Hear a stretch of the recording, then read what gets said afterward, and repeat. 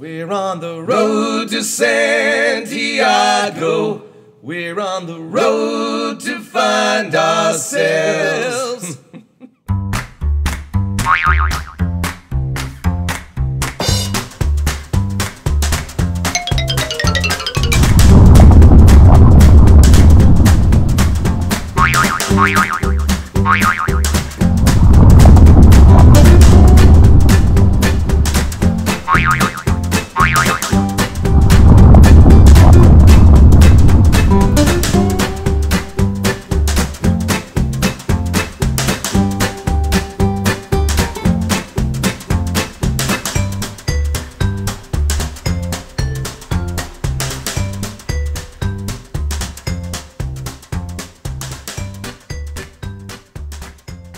Little park up here behind the Portomarin letters with the old church, the Peregrino who points the way. There's where the bus picks you up. We're driving through O Pedrouzo now. Look, there's the rooster. We have arrived at the Santiago bus station, Santiago de Compostela bus station, just figuring a way out. So as you can see, we're at the Estación de Autobuses, and now we're going up an escalator. You can't really see through the slats, but that's the train station again. We're walking above it now towards the city. There's the train station now that we're down near Santiago de Compostela. I've Got to go to this step. So we're not going there today. We're going there early tomorrow. We are walking to the bus station, actually the train station, gonna catch a train. My hotel was back that way, but right down this street was the hotel where I stayed in 2018. I didn't go to the cathedral. I didn't go to the office to get my Compostela. I just went straight to that hotel. This has been a weird visit. Unlike 2018, I find there's been a lot of misery on this one. Well, like 2018, there's been a lot of misery. I guess I should say that. But unlike 2018, I am finding ways to put that misery to good use.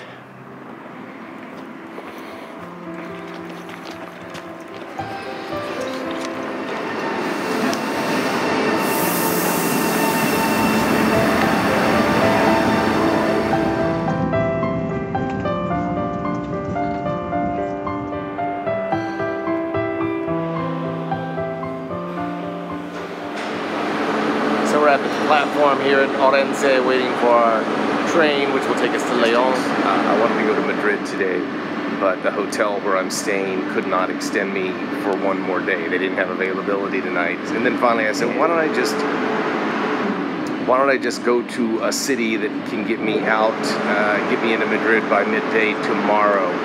And I looked at different cities that had buses, uh, the Alsa bus. Finally said, oh, Leon. Leon can get me out at 8.30 and get me into uh, Madrid airport by noon or 1 o'clock. So now I just got to get from uh, Santiago to Leon. But I just, you know what? This is all bullshit. I'm just going to explain it to you at, later.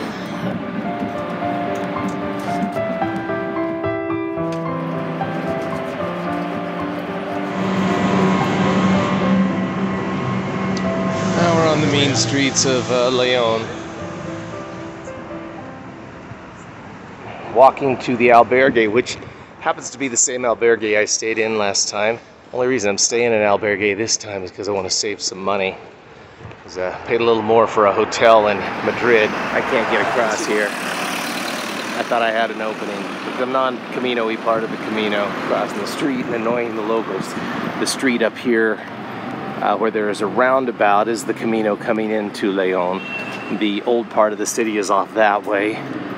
My albergue is that way. Weird day skirting with a little bit of depression, but awareness of it and ready to use my tools to deal with it. Once again, we are at Check-In Leon. And it's strange because right over there is the check-in, right over there. Yeah, you can't even, God, I got a good look at my beard, get a good last look. And I had no idea that a major supermarket was right over here behind this KFC. We're over here, that's a Carrefour. I don't know if you can see me on the sprinter side. Carrefour is a major European uh, market chain In Antibes, France, they have a Carrefour City that I shopped at a lot, which is kind of like the Walmart back home. Out of Camino mode and in comfort mode. So we're gonna see what we can find over here. Got a Burger King if I wanna get this hamburger. Got the Carrefour over here. Remember Brody and Mallrats? I love the smell of commerce in the morning. I'm not sure I'm gonna go to the old town. I'm not sure I'm gonna go look at the cathedral. It's like this. When you're walking the Camino, that stuff is special and it's amazing because there's a sort of symbiotic relationship with it. It's part of your journey and it becomes a part of you. When your Camino is fractured and scattered and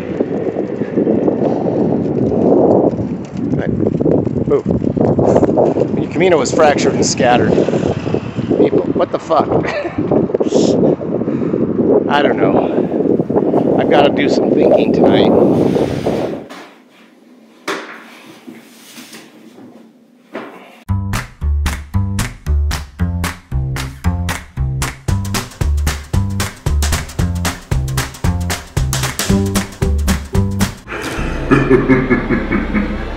so I know what you're thinking. You're thinking, why am I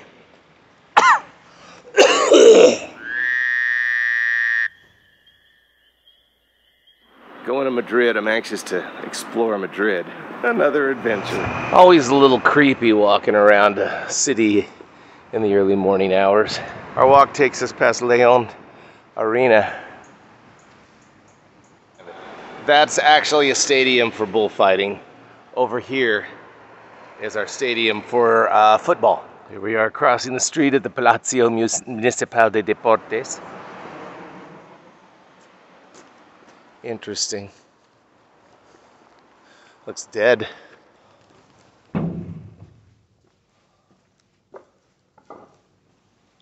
Hola. I have to say it was kind of odd staying in that albergue last night. Everybody in there was within the flow towards Santiago. They were all peregrinos. Who knows where they had started, but you know, here in Leon, the end of the uh, of La Meseta, kind of a special place. They're all in the flow, exhausted. They're all moving this way. Me, I'm moving in entirely different direction.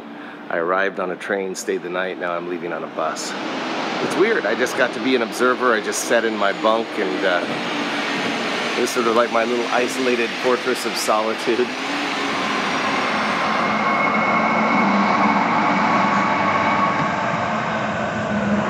Anyway, here is what I have learned this time on the Camino. I realize that I come in here, I came in here making it a bit about ego. I mean, and that's that's normal. We all make it about ego here on the Camino. Every last one of us. Not one single human being has the capacity to be 100% altruistic. No one comes out, out here to serve. They come out here for a specific experience. It's about ego. And ego can be everything. Ego is I desire a certain experience, I desire a certain connection, I desire this, I desire to learn something, I desire enlightenment, but it's always I, I, I, I, I. And last night, going to bed, I listened to a podcast interview with Shia LaBeouf talking about his uh, alcoholism and sobriety. And it just made perfect sense about getting sober is about stripping away the ego. And no, we don't become purely uh, altruistic people relieved of the bondage of self, void of ego. It's, a, it's really about a constant battle. And when I'm walking the Camino engaged in ego, I'm miserable. Just like Shanti Deva says, the man who seeks his own happiness forever suffers. When I have those rare little pockets of serenity where someone needs me and I can just show up for them, then I step out of ego for just a second, and then I feel real joy. And the interesting thing about the Camino is I think all of us come here for ego, but when we get into the flow of the Camino, excuse me, morning cop, when we get in the flow of the Camino, we find that real joy.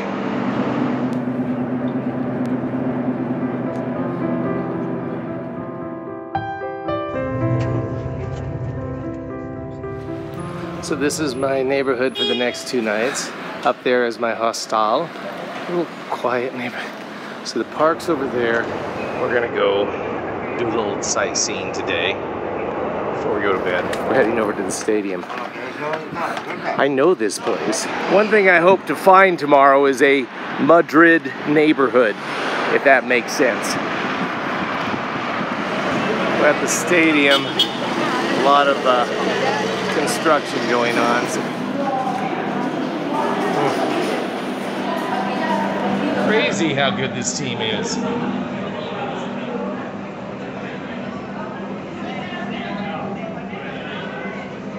Best club of the 20th century FIFA trophy. They are playing uh, Nessun Dorma over the speaker. You know my history with that whenever I travel. Always a good sign. Seems uh, Madrid has a pretty damn good basketball team too. Alright, now this is really cool. Probably can't see my beautiful face, but it's a hologram.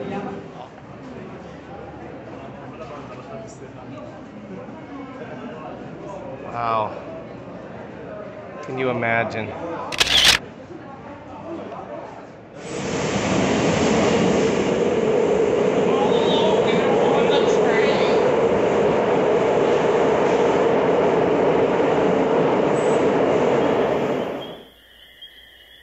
First decent night's sleep I've had in a while, and the caterpillars are gone.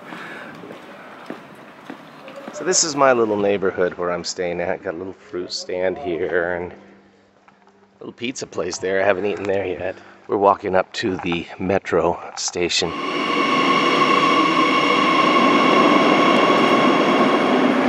Huh. Okay. Now we're in Madrid. Wow. So we are walking along the Gran Via, Salon El Dorado, or as we say it back in Kansas, uh, El Dorado. El Dorado was the town where I was raised in Kansas. That's how we pronounced it. Also, I think Obama's grandfather was born there. Not looking too pretty here right now. well, I don't know where I am exactly, but this is more like it. Now I feel like I'm in a cool European city. Hello, Mr. Lion. All right, that place is called Gran Via. Wow. And uh, according to the brochure I have, it's a great place for shopping. Feeling a bit like Captain Kirk. well, this is actually the very expensive place to shop. Looking at very trendy, high-end fashion place, and not exactly the place I want to be shopping. Over there is the palace. So I thought this was a palace. I'm not. Uh, I'm not sure what it is. So just chilling in Madrid now. I really don't know much about this city, and maybe I'll go back up here and try to get in the park over there. Kind of day I just want to sit and have a cold beer, and I don't drink. We're gonna go in this park here. See what it's all about. Where do I put his dinero? Oh, over there. Okay. I don't know what this is. Put some money in the thing and.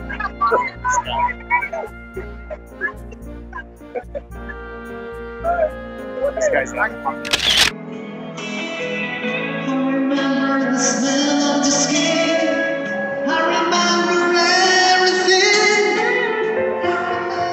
We are walking out of Madrid on a very quiet Sunday morning. Those are the machines where you get your card to tour uh, Madrid.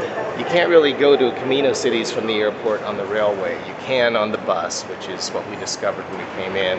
You can take the Renfe down to Chamartin, and from there, I was able to go to just about anywhere. You can see where the line goes around all the way. It, went much, it goes much further back, disappearing back there. So it took us an hour to go to wait in that line to get our bag checked. It took us half an hour to get through TSA and down here, and we're still not even at our gate. I want to get around these people, but they put their luggage there, so you can't pass them. We will now collect any items you wish to discard. We will be landing soon. And we are in Philadelphia. And of course, with customs, you gotta pick up your bag and take it through customs and put it back on the other flight to get you home. Of course, mine's one of the last ones off. Ah, sorry. Man, you should have seen my global entry photograph. I was like, it's terrifying.